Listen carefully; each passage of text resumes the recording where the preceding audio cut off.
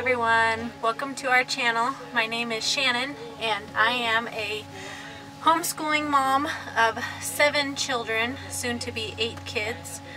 We have four um, school-age children from kindergarten up to eighth grade for this next coming school year.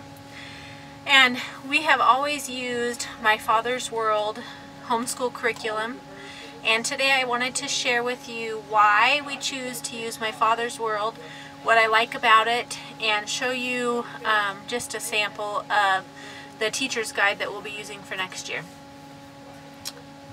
So this is our teacher's guide for next year.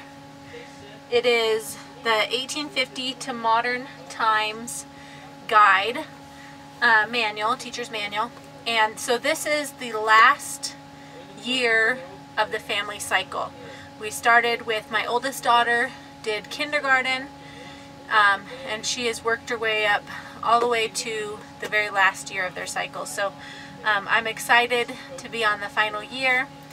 Um, so the first thing that I really like about My Father's World is that it's very open and go. There's not a lot of planning for me to do besides um, putting student sheets into binders and um, that's about it. In the past we have always used the history, Bible, and science portions of My Father's World.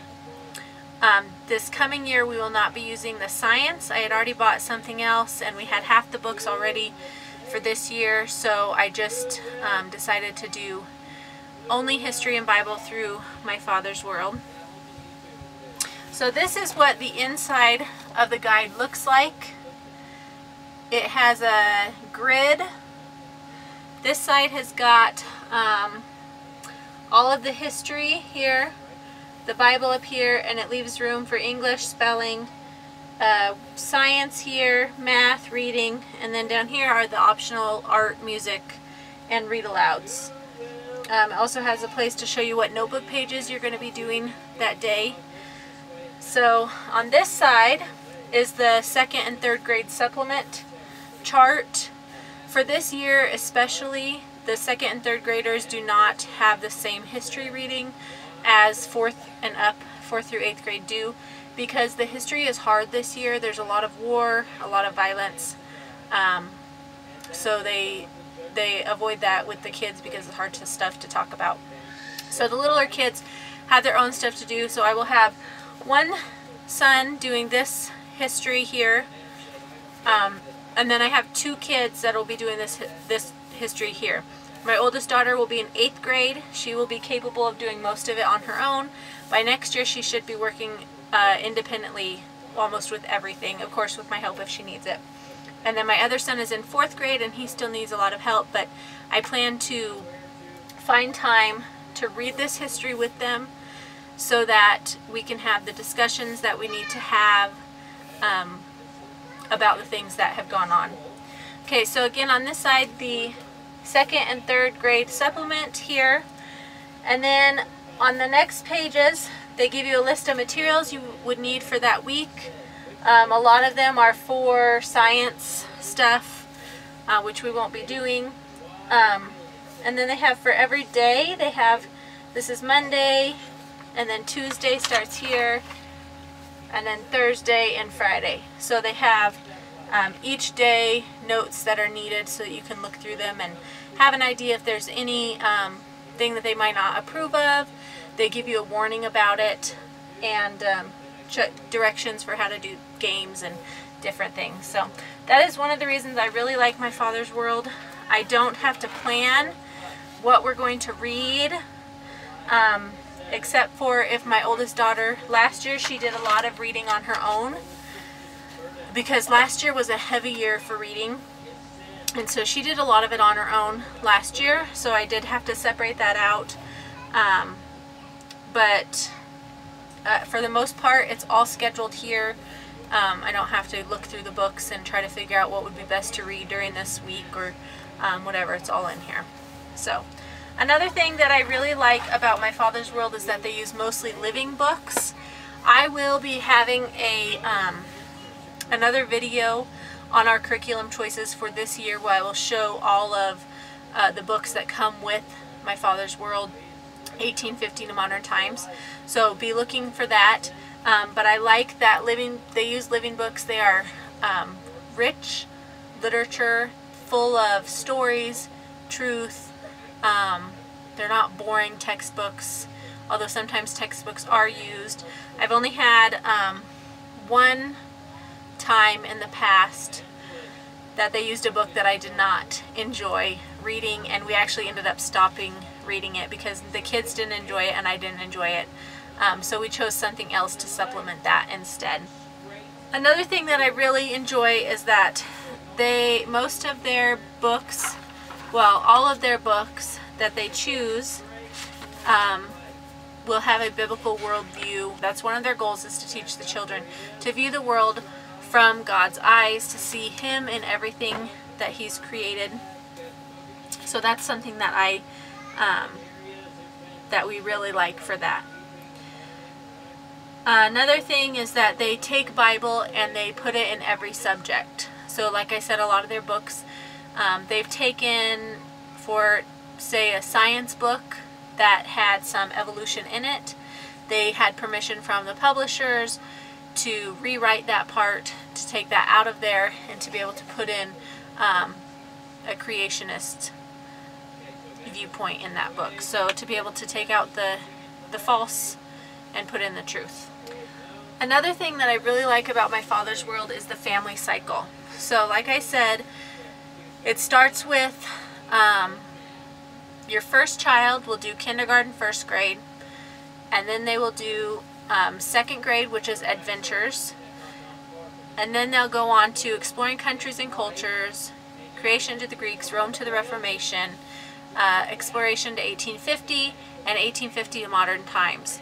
Now if you have a child, a second child, and so on, they skip adventures for third grade. They still do, or for second grade, they still do kindergarten first, and then they just join right in with whatever the older children are learning about.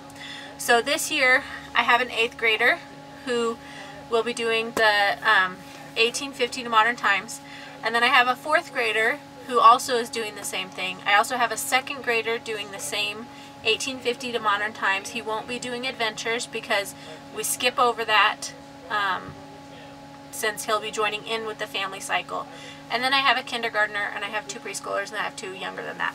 But um, that's something that I really like about my father's world. I've looked to so many other curriculum. I have just gone back and forth and back and forth trying to make up my mind of what to use and I always come back to my father's world because when I look at doing a separate core or a separate guide for each child I get overwhelmed with the time that it would take me to do that. So I love that I can teach them all the same thing, the same history subject. It gives them things to talk about. They enjoy learning it together. They're able to share it with dad and um, feed off of each other of what they learned. I like that uh, this keeps our family together. If we were to have, um, now next year this will change a little because my oldest daughter will be in high school, her first year. She'll be doing all her own independent work. Um, but for the most part, it keeps the rest of us together. If we were to teach separate cores or whatever, separate guides, for each child, they would all be off doing their own thing. Um, we like to keep everyone together as a family to spend time together. That's one of the reasons we homeschool is so that we can enjoy being together, being a family, learning from one another. Um, so I like that this keeps us all together. Everyone sits at the table. We all read together, even the little tiniest one. Uh, right now she's 18 months, almost 18 months old, and she joins us every morning for our Bible time, for our history reading, for our read alouds. Um, all the way up to the oldest. So I like that they everyone stays together to learn the same things.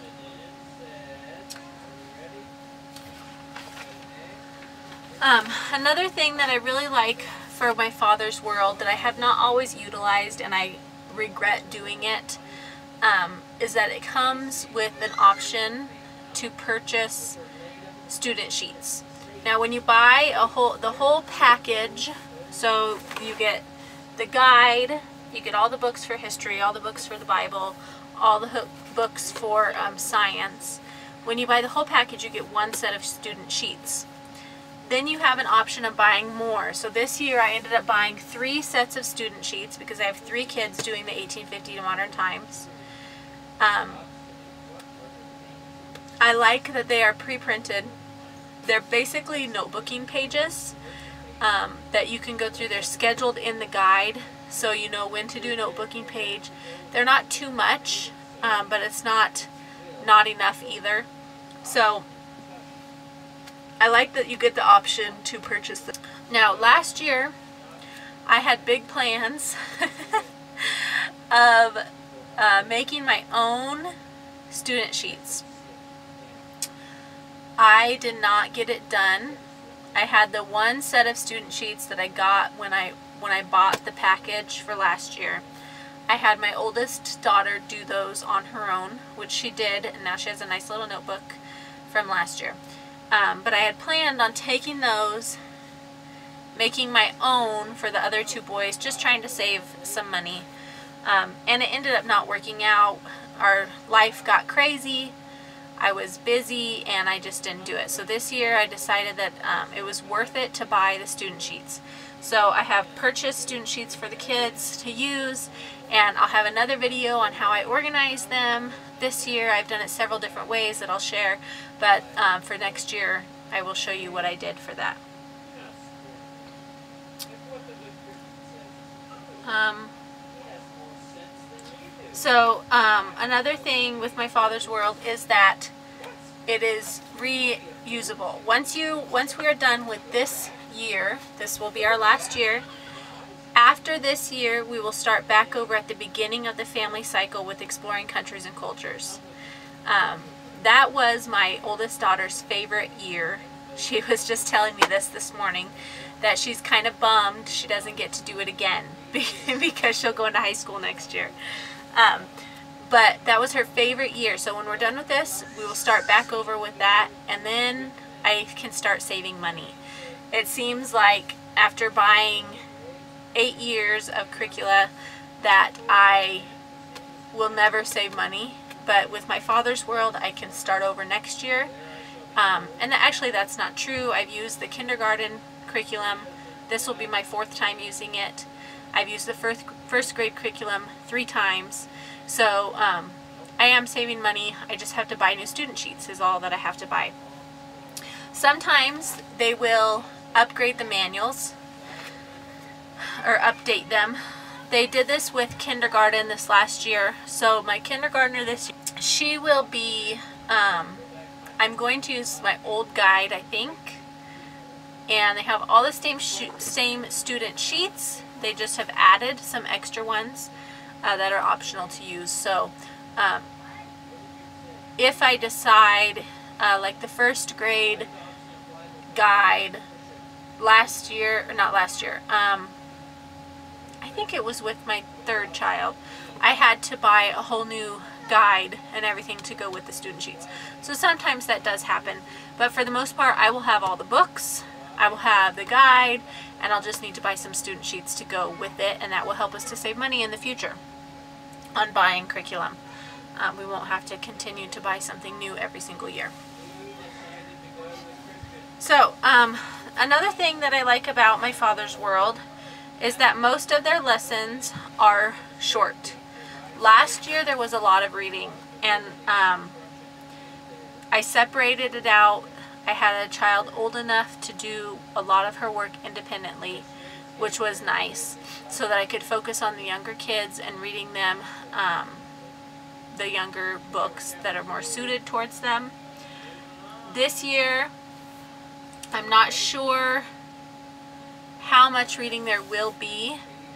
Um, but we will just have to figure out how to make it fit in because I want to be able to read it with my older kids since the, the uh, subjects are so hard.